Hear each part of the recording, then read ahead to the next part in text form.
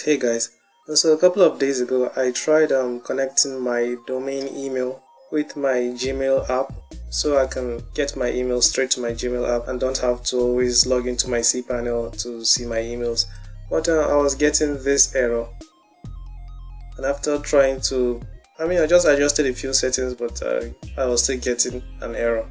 I was actually able to do this before, but something happened. I had to remove the emails from my um, Gmail app, and now trying to get them back. It's becoming an issue, but I'll fix it later on. But for now, I'm just going to be using forwarders. That is what I'm going to be explaining in this video: how you can create forwarders for your and domain emails to your Gmail app. Alright, with that said, let's begin. Alright, so here I am on my cPanel. I only know the cPanel way of doing this. So if you're using some other hosting service that doesn't offer a cPanel with email, then I, I can't help you in this video, but you can watch to understand how it works. And um, after I'm done creating the folders, I'm going to explain how they work, so stay tuned for that.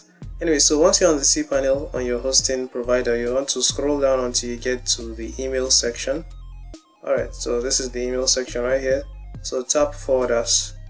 I think I should just explain how the forwarders work for now. Um, so you have your Gmail app and your email, that is your domain email. And um, whenever you receive an email from your domain email, it's going to send a copy to your Gmail app, which is your Gmail address.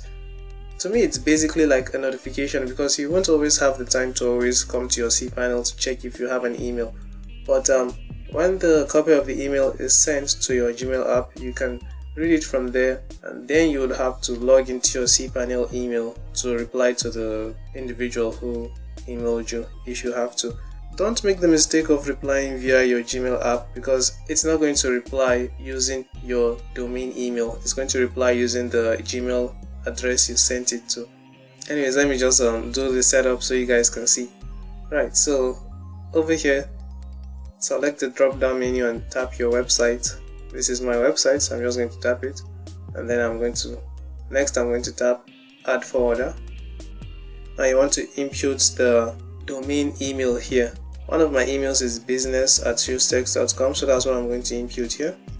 And now I'm going to impute my Gmail address here. Alright, so essentially this is how it works. Every email coming into this address, business at hughestex.com or your address will get copied into this email address which is the gmail address you want to send it to. And then when you're done i don't do any other thing i don't even tap advanced option but let's see what this offers yeah no there's nothing here to all right so, so when you're done just tap add forwarder that's just about it. So like I said, whenever you receive an email, you shouldn't respond using your Gmail app because the user is going to receive the message from the Gmail email address. But um, you have to come back into your um, cPanel and check your emails from there, log into the business or whatever it is your domain email, and then respond to them from there.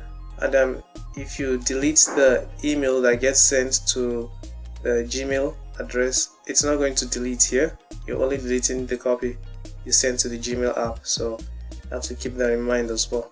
I'll show you an example, but uh, I don't really have an extra email and I don't want to create another one. So, so if you found the video helpful, please give it a thumbs up. And um, if you have any questions, just let me know in the comments, and I'll respond as fast as I can.